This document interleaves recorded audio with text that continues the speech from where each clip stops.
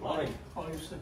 Good morning. Pleasure meeting you. It's been. Very nice meeting you. How was the trip coming in? It was, it was good, sir. Yes? Fantastic. Flights on time? Yes, it was great. Thanks a lot. Thanks a lot. Lisa, how are you, man? I'm great. Nice to see you.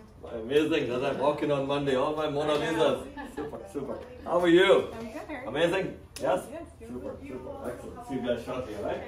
Super. Welcome back, Doctor. We have lots of gifts waiting for you. Alright, let's take a look. Among all the gifts as I walked into the office today, this one uh, stands out. The Bhagavad Gita um, that I've been, was a gift from this surgeon who came over. Let's see, thank you card. A perfect gift for Arjun, who always hits the bird's eye of 2020 vision. So he's put a J in my name. Dr. Uh, Milad, thank you so much for this wonderful gift uh, of the Bhagavad Gita. And uh, you have put a J in my name. I want you to be aware, actually, my birth name is Arjun.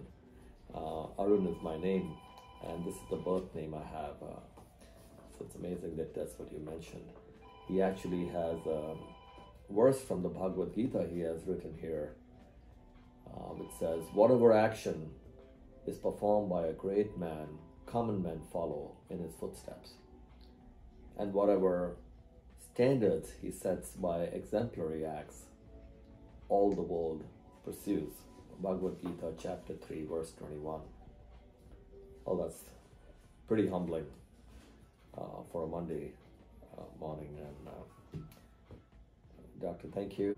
How can I ever thank my patients, my colleagues from all over the world who come over, our industry, um, my family,